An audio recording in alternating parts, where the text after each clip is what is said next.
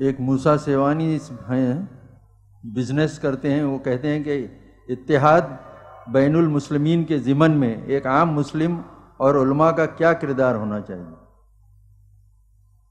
اس کے لیے اصل میں بنیاد کو مضبوطی کے ساتھ تھامنا وا تسم بحبل اللہ جمی ان ولا تفرقو اللہ کی رسی کو مضبوطی سے مل جل کر تھام لو۔ اگر ہمارا اصل ایمفسس قرآن پر ہو جائے گا، تو ہمارے اختلافات جو ہیں وہ شیڈ بیک ہو جائیں گے، پیچھے چلے جائیں گے۔ ریسیڈ وہ پیچھے ہٹ جائیں گے۔ جب قرآن پر ایمفسس نہیں ہوگا، تو سارا ہمارے جو فروعات ہیں، جو تفاصیل ہیں، ان پر ایمفسس ہو جائے گا۔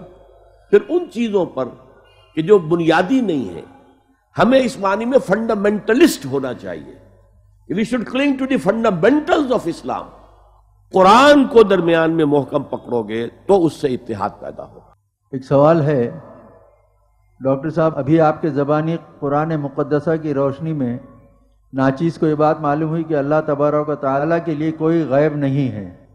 یقیناً اللہ عز و جل علیم و خبیر بذاتی صدور ہے۔ سوال یہ ہے کہ نبی کریم صلی اللہ علیہ وسلم علم غیب جانتے تھے یا نہیں؟ مجھے آپ اس سوال کا جواب قرآن کی روشنی میں دے کر شکریہ کا موقع دیں۔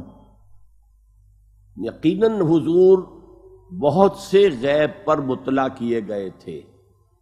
اور نبوت جو ہے وہ شے از غیب ہی تو ہے۔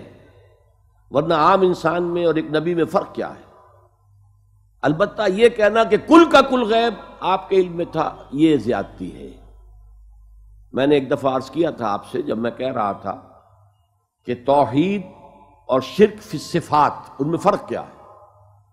صفت اللہ کی جو ہے، وہ اس کی ذات کی طرح قدیم ہے، اس کی ذات کی طرح لامتناہی ہے، اس کی ذات کی طرح ذاتی ہے، کسی اور نے نہیں دی ہے اس کو۔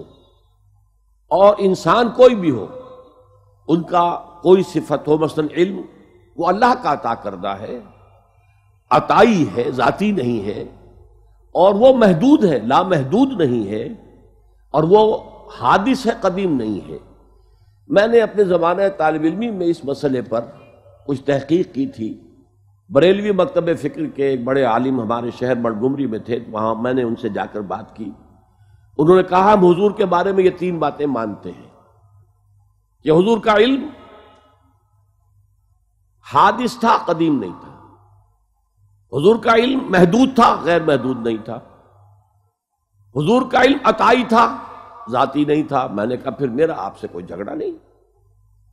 باقی رہ گیا، کیا معلوم تھا، کیا نہیں یہ ہمارا نہیں ہے معاملہ کہ ہم یہ طے کر سکیں۔ ہم کہاں ناپیں گے اس علم کو کہ جو اللہ نے حضور کو دیا ہے؟ حضور نے تو آپ کو معلوم ہے کہ شب معراج میں جنت بھی سیر کی ہے دوزخوں کا بھی مشاہدہ کیا ہے۔ دنیا میں رہتے ہوئے بھی آپ ایک دفعہ نماز پڑھا رہے تھے، نماز استسقا غالباً تھی، تو آپ ایک دفعہ پیچھے ہٹے، جیسے کوئی سامنے سے خوف والی شے آ گئی ہے، اور ایک دفعہ آگے آپ نے ہاتھ بڑھایا۔ تو صحابہ نے پوچھا کہ حضور آیا، یہ نماز کا حصہ ہے؟ اس طرح پیچھے کو ہٹنا اور آگے کو بڑھنا؟ فرمایا، نہیں نہیں نہیں۔ میرے سامنے جنت لے آئی گئی، اور میرا جی چاہا کہ میں کوئی پھل توڑ کر تمہارے لیے تمہیں دے دوں۔ تو میں نے ہاتھ بڑھایا، اور دو دو کھا گئی اس کی لپٹ سے مجھے۔ اس کی گرمی سے مجھے پیچھے ہٹنا پڑا۔ دنیا میں رہتے ہوئے انہیں جنت اور دو کے نظارے کرائے جا رہے ہیں۔ اور یہ انبیاء کا معاملہ ہے۔ کزال کا نوری ابراہیم ملکوت سماوات والارض۔ ہم ابراہیم کو آسمان اور زمین کے ملکوت کی سیر کراتے رہے۔ تو یہ تو نبی نبی نبی ہوتا ہی تب ہے۔ جب علم غیب میں سے کچھ حصہ اس کو ملتا ہے۔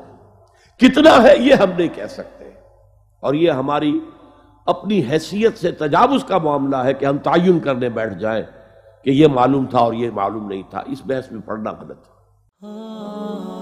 خليل بالقرآن هو إمامنا على هداية الله آمتنا۔ كلام ربنا هدايتنا عطاء جبريل على رسولنا۔